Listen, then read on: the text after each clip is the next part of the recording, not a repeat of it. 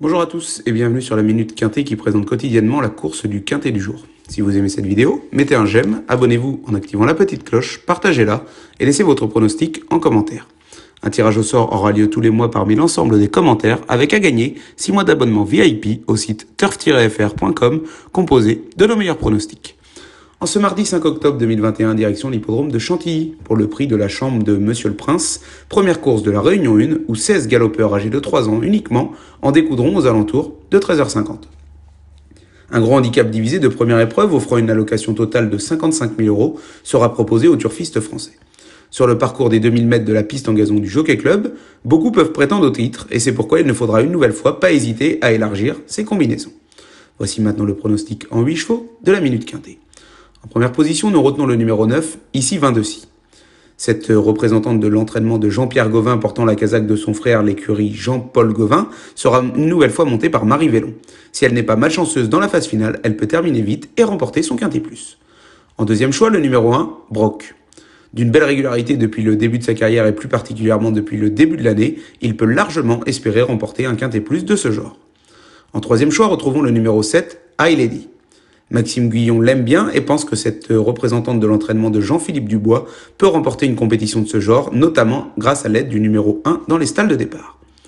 En quatrième position viendra le numéro 3, Népalais. Deuxième récemment sur le sable cet été avec Christophe Soumillon, il va tenter de renouer avec la victoire à ce niveau de compétition avec l'aide de Stéphane Pasquet, qui le connaît sur le bout des doigts. En cinquième choix, faisons confiance au numéro 16, Full Flow. Bien placée pardon, en bas de tableau avec seulement 56 kg à porter sur le dos, cette pensionnaire d'Éric Libaud peut faire le show. Au sixième rang sera retenue la candidature du numéro 10, Prince de Montfort. Venant de s'imposer avec énormément de style dans un terrain pénible, il devrait être avantagé par l'assouplissement des pistes du jour. En avant-dernier choix, le numéro 15, Noble Amber. Portant la fameuse casaque de l'écurie Maréchal et entraînée par Édouard Lyon, cette femelle de 3 ans supplémentée pour la circonstance n'est pas incapable de terminer parmi les 5 premiers. Pour clôturer ce pronostic, retenons le numéro 11, Villavagram. Francis Graffard, entraîneur de talent, la présente pour la première fois au niveau handicap, et ce n'est pas sans une idée derrière la tête.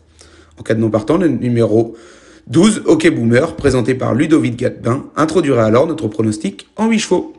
Abonnez-vous pour 1 euro sans engagement afin de découvrir notre abonnement VIP. Par exemple, hier, dimanche, Turf Sélection réussit le petit exploit de donner le tiercé dans le désordre de 101 euros tout de même. Pour vous abonner à Prono VIP, rien de plus simple puisqu'il vous suffit simplement de cliquer dans le lien situé dans la description.